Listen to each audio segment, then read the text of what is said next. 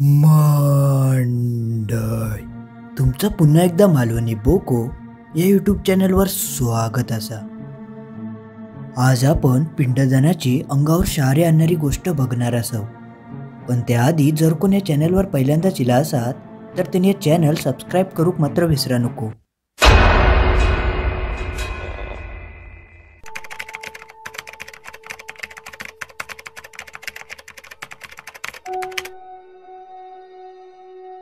मी कोकणातलो रहिवासी असाय. ही घटना माझ्या गावाकडे घडली होती. माझ्या गावाकडे माझी मावशी राहायची आणि मी लहान असताना उन्हाळ्याच्या सुट्टीत माझ्या मावशीकडे जायचंय. अशाच एका उन्हाळ्याच्या सुट्टीत मी माझ्या मावशीकडे गेलो होतोय. एक दिवशी रात्री आमच्या बाजूच्या घरात खूप गडबड चालली होती. बाजूच्या घरात एका माणसाक दोरीने बांधून ठेवलेला होता आणि तो सुटकेसाठी खूप प्रयत्न करत होतो. त्या माणसाचा माका काय आता नाव माहिती नाही. पण तो माणूस कोणाकच आवरत नाही होतो. तो जो माणूस होतो तो आमच्या बाजूच्याच गावात खायच्या तरी कंपनीत कामाक होतो.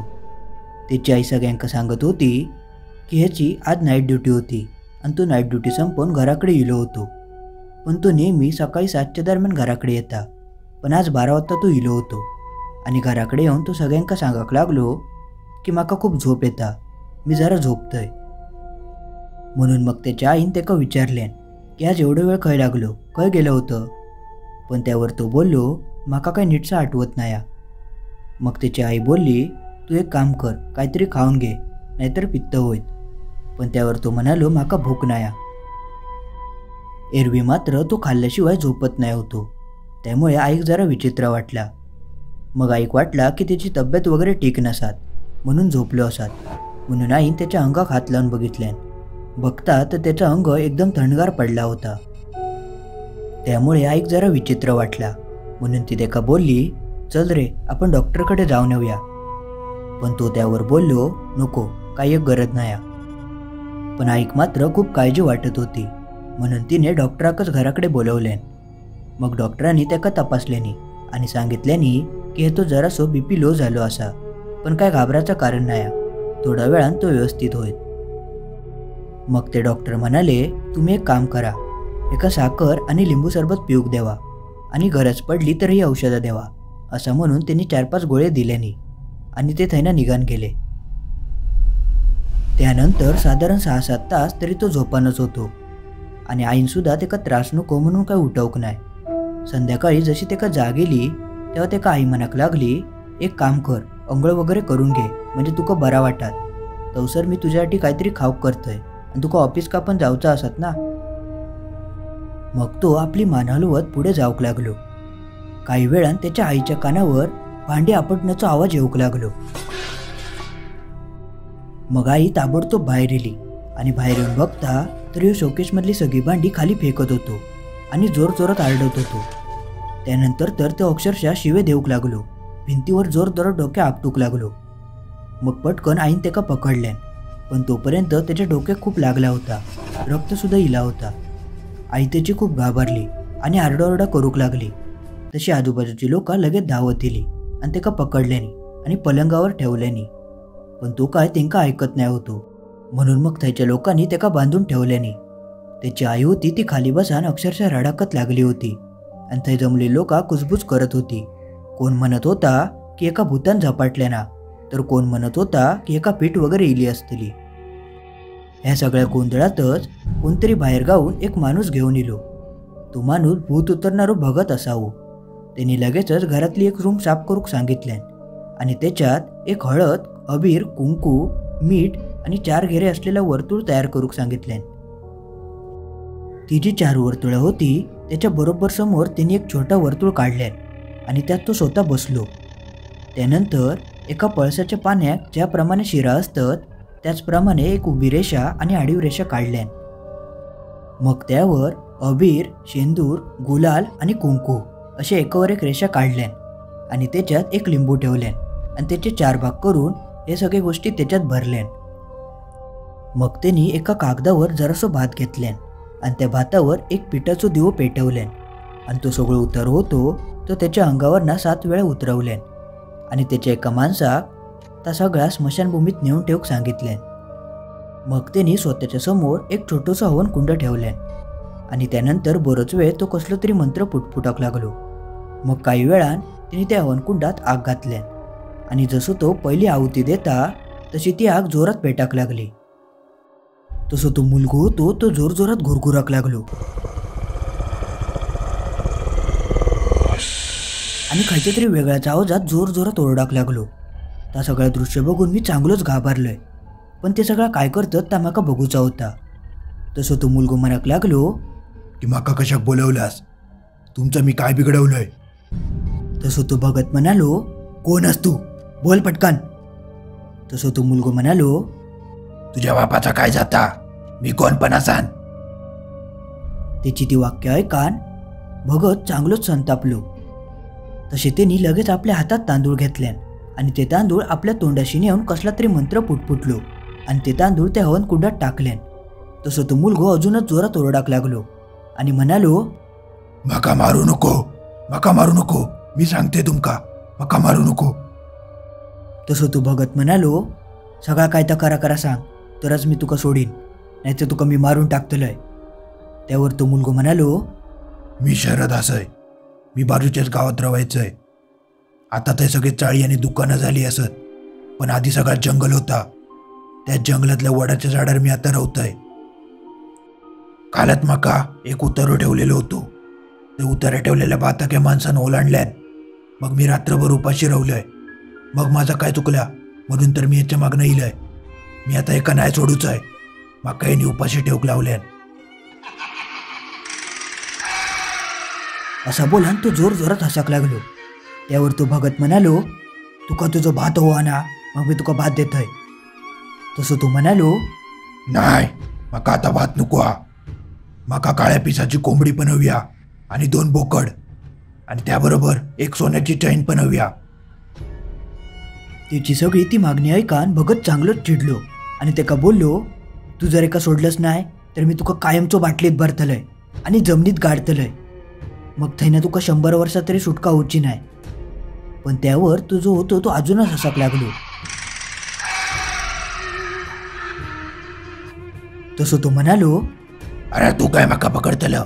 मी तुझी वाट लावतोय बघ. पण त्याचा त्या भक्तासमोर कायच चालला नाही. शेवटी तो निराश होऊन म्हणालो अरे माका निदान कोंबडी तरी दे. मग भक्तान ता सगळा मान्य केल्यान आणि तेका विचारल्यान पण तू एका कधी सोडतलं? तसं तू म्हणालो जेव्हा तू माका कोंबडी देतलं तेव्हा मी एका सोडतलंय त्यावर भगत म्हणालो की तू आधी म्हाका वचन दे. मी तुका कोंबडी दिलंय की एका सोडतलं तरच मी तुका कोंबडी देतलंय.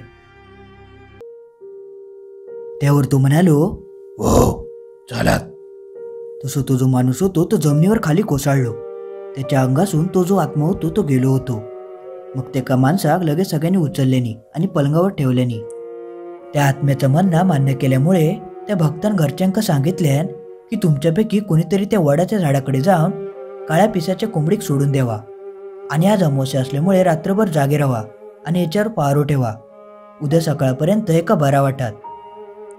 त्यानंतर ते म्हणाले आपण जर ह्याच्यावर जोर जबरदस्ती केली तर एका तो इजा पोचवू शकता. मग त्यांनी एक मंत्र पुटपुटल्यानी आणि त्याच्या पलंगाभोवती गोल वर्तुळ काढल्याने.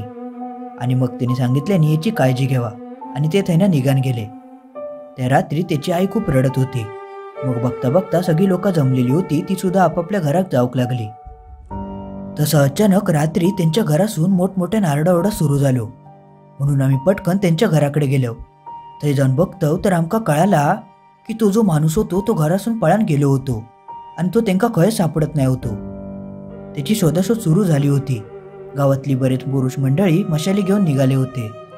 झालेल्या प्रकारामुळे त्यांची जी आई होती ती खूपच रडत होती. मग शेजारी पाजाराची बायका त्यांका धीर देत होते. तशी ती आई म्हणत होती की माका त्यांनी सांगितल्यान की माका लघुशंका झाली आ मी लगेच जाऊन येतोय. आणि तो नेहमीप्रमाणे चांगलं बोललो. त्यामुळे माका वाटला की तो बरो झालो असात. म्हणून मी त्याका जाऊक दिलंय. पण बरोच वेळ झालो तो परत इलो नाही म्हणून मी त्याका बघूक गेले तर थंय तो खयत नाही होतो. असं म्हणून ती परत रडाक लागली. त्यांच्या घराच्या मागच्या भागात खाडी होती. त्यामुळे बरीचशी लोक त्या खाडीच्या दिशेने निघाली आणि काही लोक त्या वडाच्या झाडाकडे आणि बाकीची उरलेली होती ती भक्तांका बोलवत गेली. समुद्रात ओहोटी असल्यामुळे खाडीत जास्त पाणी नाही होता आणि समुद्राचं पाणीसुद्धा खूप लांब होता. सगळेजण हाक मारत मशाली घेऊन आणि बॅटरी घेऊन तेका शोधत होते. तसं त्यांका त्याच्यासारखा कोणतरी दिसला म्हणून ते लगेच त्याच्याकडे धावत गेले. जाऊन बघतं तर तो तोच होतो. त्याका नीट शुद्ध नाही होती. मग लोकांनी त्याका लगेच पकडल्यानी आणि घराकडे आणल्यानी. तो ज्या ठिकाणी बसलो होतो तो खाडीचो भाग होतो आणि थंय बऱ्यापैकी खडका होती. ती जी खडका होती त्यांका मरणाची धार होती.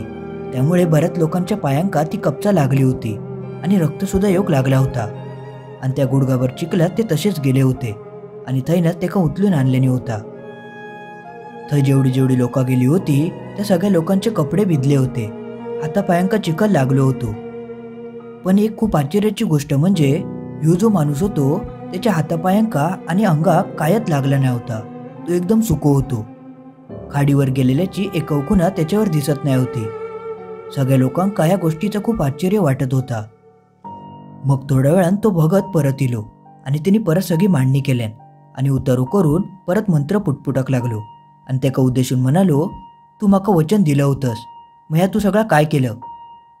बरंच वेळ झालो भगत त्याका खूप काय काय प्रश्न विचारत होतो. पण तो काय बोलतच नाही होतो. म्हणून भगतान कंटाळान अग्नी पेटवल्यान आणि आहुती टाकल्यान. तसं तो बोलाक लागलो. पण ह्यावेळी त्याचा आवाज वेगळोच येत होतो. त्यामुळे भगताक जरा संशय इलो. म्हणून तो भगत बोललो की तू कोणस त्यावर तो म्हणालो मी धोंडू. मी खाडीवर राहतो. तेव्हा तो भगत म्हणालो तू एका कशाक पकडलं? त्यावर तो म्हणालो ह्या माणसान माझ्या अंगावर थुकले ना म्हणून मी एका पकडलाय. आता मी एका नाही सोडूच आहे तसं तू भगत म्हणालो ह्या त्याने काय मुद्दामून नाही केलं ना? ते का काय माहिती की तू थंय बसलं? तू एका सोडून दे. नाहीतर मी तुका कायमचो अंधारे विहिरीत टाकीन. मग तू थंय वर्षानुवर्ष अडकन राहशील तू माझं ऐक. माझं ऐकलंस तर तुका या पिंडदान करून तुका मी मुक्त करीन. मग जा देवाक मान्य असात ता होईत. बोल काय करतस? अंधारे विहिरीत जातस? की मुक्त होतस. त्यावर तो माणूस म्हणालो मका आधी विडी दे? मग भक्तान ताबडतोब एक विडी आणूक सांगितल्यान आणि तेका ती विडी पेटवून दिल्यान. तसं तो माणूस होतो तो विडी पीत पीत अचानक रडाकत लागलो. आणि तो म्हणालो मी मी मी दोनशे वर्षापासून तर अडकून पडलोय. माझ्या बायकोच्या चरित्रावर मी संशय घेतलाय. म्हणून आमको मूळबळ होत नाही होता. माझ्यातच दोष होतो. तरी त्या सगळा खापर मी बायकोवर काढलंय आणि तिका खूप मारलंय एक दिवशी आमचं दोघांचं चांगल्याच कडाक्याचं भांडण झाला आणि त्या रागाच्या भरात मी तिच्या डोक्यात वरवंटो घातलंय पण जेव्हा माझं राग ओसारलो आणि ते का मी बघितलंय तेव्हा ती मरण पावली होती. माका खूप पश्चाताप झालो होतो पण वेळ निघून गेली होती. म्हणून मग मी खाडीत जाऊन जीव दिलंय पण माझ्या पापकर्मामुळे माझी काही सुटका झाली नाही. मरणानंतर माका कळाला की माझी बायको चरित्रवान होती. पतिव्रता होती. तेव्हापासून मी त्या जागेवर बसून रडतोय. असंच मी रडत असताना यो जो माणूस होतो तो माझ्या अंगावर तुंकलो माका तेव्हा खूप राग येलो म्हणून मी एका पकडलंय. तसं तो भगत म्हणालो जा काय झाला तर झाला. आता तरी सुधार आणि एका सोडून दे. मी तुका वचन देतय यो जो माणूस असा तो तुझ्या नावाचं पिंडदान करीत. त्या भगताची ती वाक्य ऐकान तो म्हणालो मी तुझ्यावर विश्वास ठेवून जातोय. मी जाताना दाराबाहेरची मोठी खुर्ची खाली पाडवेन.